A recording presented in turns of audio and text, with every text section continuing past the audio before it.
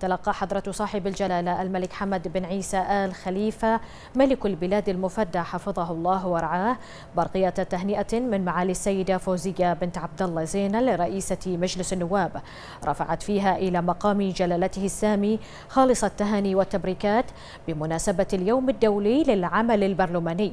مشيدة بالإنجازات التي تحققت لمملكة البحرين في ظل قيادة جلالة الملك المفدى ودعم جلالته الكبير ورعايته الكريمة للسلطة التشريعية منذ انطلاق المسيرة الإصلاحية التنموية الشاملة والمستدامة والتي شكلت نقلة نوعية في المسيرة الديمقراطية في مملكة البحرين من خلال تبنيها المبادئ التي تعزز دولة القانون والمؤسسات التي بنيت على أسس دستورية عصرية وحضارية وأكدت معالي رئيسة مجلس النواب في البرقية بأن التعديلات الدستورية المنبثقة عن ميثاق العمل الوطني دشنت عهدا جديدا من الإصلاح السياسي والديمقراطي في إطار الملكية الدستورية العصرية وسيادة القانون على أسس من العدالة والشفافية.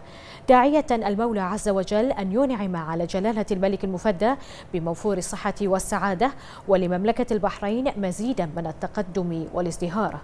هذا وبعث حضرة صاحب الجلالة الملك حمد بن عيسى آل خليفة عاهل البلاد المفدى حفظه الله ورعاه برقية شكر جوابية إلى معالي السيدة فوزية بنت عبد الله زينل رئيسة مجلس النواب ردا على برقية معاليها المهنئة بمناسبة اليوم الدولي للعمل البرلماني.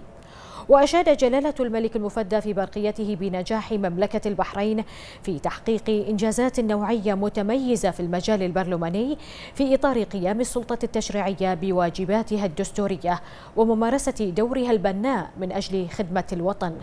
كما أعرب جلالته عن تقديره لأداء مجلس النواب والذي يسهم بالتعاون مع الحكومة الموقرة في دعم المسيرة التنموية الرائدة. منوها إلى أن مملكة البحرين ماضية في تعزيز نهجها الحضاري القائم على الوسطية والاعتدال والانفتاح واحترام كل الأديان والثقافات.